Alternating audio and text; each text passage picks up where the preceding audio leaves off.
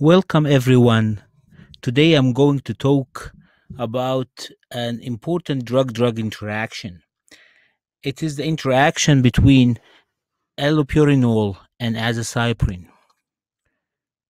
So, azathioprine is an immunosuppressive drug that's used in many conditions such as Crohn's disease and ulcerative colitis, while allopurinol is a medication used for treatment of gout by inhibiting the formation of uric acid.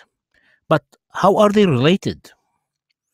So let's think about it. So azathioprine is a prodrug that gets metabolized into 6-mercaptopurine, which is by itself gets metabolized into the thioguanine metabolites, which are responsible for pharmacological action of azathioprine.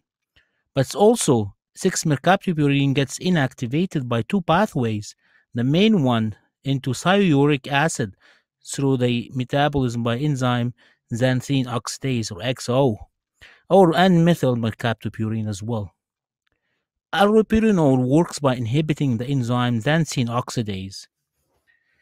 By doing this, it will decrease the uric acid synthesis, and that's why it's used for gout.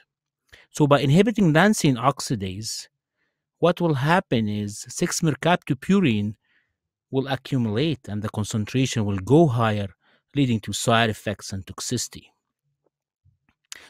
So, what are the side effects and toxicity? Mainly hematological toxicities, also nausea and vomiting. But how we deal with this interaction? So, there are two ways. You can either avoid combination if possible, or reduce the dose of azathioprine by 60 to 75%, but don't forget to monitor the side effects. By that, that's the end of the second Drug Fact series, but please don't forget to subscribe. Thank you.